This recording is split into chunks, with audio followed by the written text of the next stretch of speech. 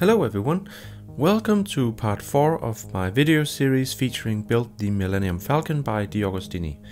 Now in this episode I'm going to focus on issue 5 and issue 6 and as you can see I have the parts on the table here.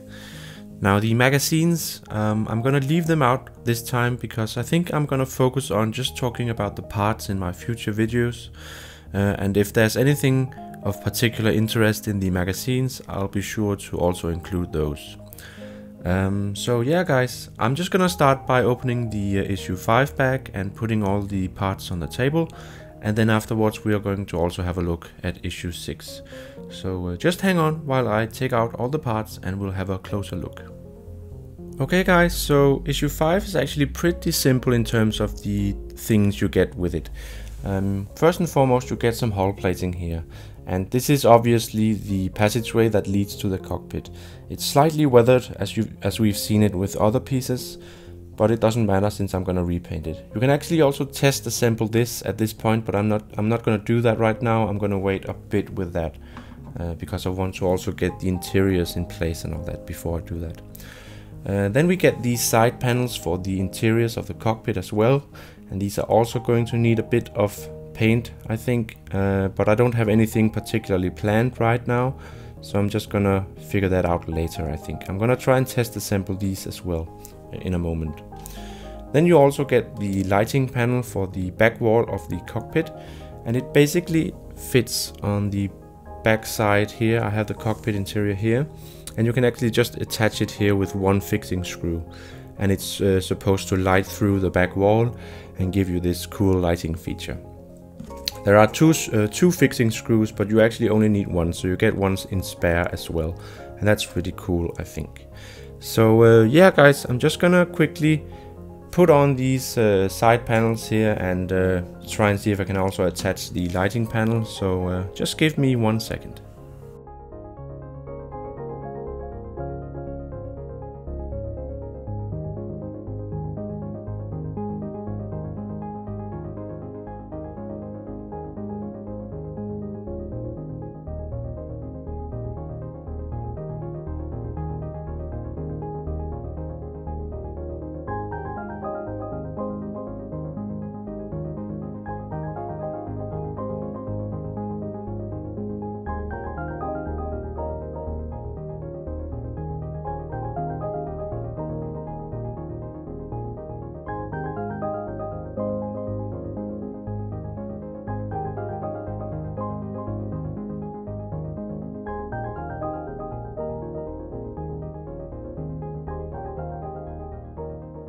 Okay guys, so that was pretty simple really.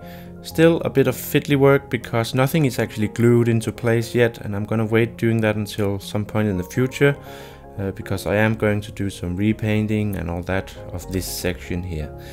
Uh, but it's it's pretty cool and it's coming along nicely and uh, yeah, it looks it looks nice I think. Now one thing I want to do in this video as well is to try and fit the uh, back wall here into the passage tube, uh, the hull that also came with this issue.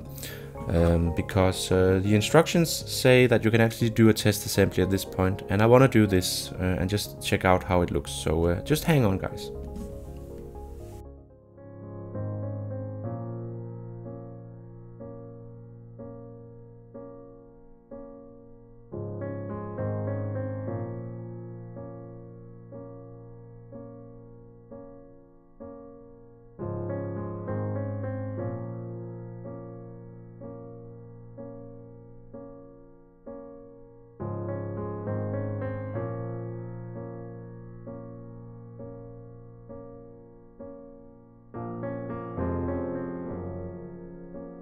And that's it guys. It fits in pretty nicely and it looks extremely cool now. And again, now you really get a sense of the scale of this uh, build here. Was a bit flimsy in the end here, putting in the uh, deck of the cockpit. Again, because it's not glued or anything and it's just a bit difficult to find the proper space here. But yeah, it fits in nicely st still. Uh, I only think we're missing one piece now, and that's basically the uh, outer cone here of the cockpit. And uh, we're actually getting that in issue 6. Um, although in I think issue 40 they're actually going to send out a replacement cone because there are some inaccuracies with uh, the first initial cone that they provided. Um, but I've also heard that there are some in inaccuracies with the replacement cone, so it's basically down to your personal preference if you're gonna go with either the first or the second version or maybe even a third uh, custom version because there are also custom options available out there. Um, but this looks pretty cool guys and now we're really getting the sense of this fantastic build here. So um, let's just move uh, on now to issue 6 and have a look at what's inside the bag here. So let me just get thing, the things out of it and we'll have a closer look. Alright, so issue 6 is actually filled with small bits and pieces. And first and foremost we get the nose cone that I already mentioned here, the top and the bottom half. Then we get a plastic sprue here which contains a lot of small greeblies and kitbash. And this is actually going to fit on the exterior hull. And some of these parts, if not all of them, are going to fit on in this section here. Or just surrounding this tube. Um, then you get a smaller sprue, which is a silver finish. These are the small levers for the command console or dashboard of the cockpit. And then we get this bit here, which is supposed to be the surrounding area or the support for the seats in the hull. So you have the seats here, and then you have the, uh, Dejarik playing table standing in the middle. I think I have it over here, like that. And then you get a linking ring for the cockpit. This is supposed to go around this area here, linking the nose and the tube together. Then you get uh, some interior wall for the cockpit as well. This is supposed to go ab above the seats in this area here. And uh, these stickers are supposed to fit on as well on each side. So you have some details uh, for the computer consoles and all that. And these two small black bits here are actually going to be the base of this uh, ring here. So they're going to fit here and the sticker is actually also going to fit on in part on these bits here. Now that's basically it guys. For the rest of this video I think I'm to do one thing and that is to try and assemble the nose cone and just put it together with the tube just to get a feel of what that looks like. Um, these interior parts here I think they need to be glued eventually. So I think I'm just gonna wait applying the stickers and all that until at a later time. So for now I'm just gonna store them together somewhere. Um, actually I have a Ziploc bag. Bought like a thousand of these. I'm just gonna put them all in here. Uh, I try and store them as they come. So this would be issue, is this the, yeah. So this would be issue six. And I just keep them together in a bag like this in order to just be able to easily find them later on when I need them.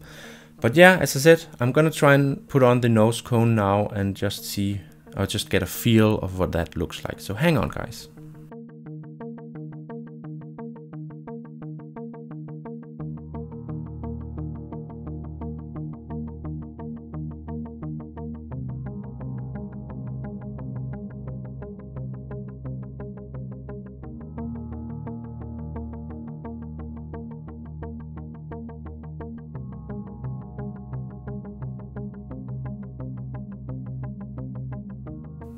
So that's it guys. Um, it was again a bit fiddly, but it fits on very tightly actually, and that's actually also why it was a bit difficult. Um, I had to try this a few times before I got it right.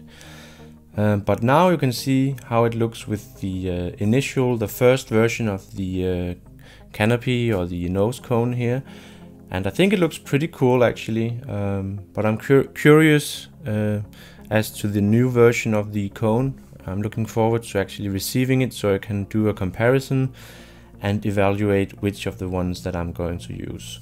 Now at this point I didn't install the interior ceiling of the cockpit and the, the last two uh, side panels uh, because you can hardly even see them here. I just wanted to get an overall impression of the uh, exterior here along with some of the cockpit details on the inside. So that's basically it guys um, for this part uh, of my video series. I hope you enjoyed it. It's it's very uh, cool to having reached this point now where I have this final piece here. Uh, of course, this is all going to get repainted and everything in the future, but I'm gonna get back to that in a future video. Uh, but for now, guys, again, I hope you enjoyed watching this video and share this experience with me. If you have any questions or comments or anything, go ahead and uh, leave them below. And uh, yeah, of course, also remember to like and subscribe. Thanks a lot, guys, for watching and have a great day.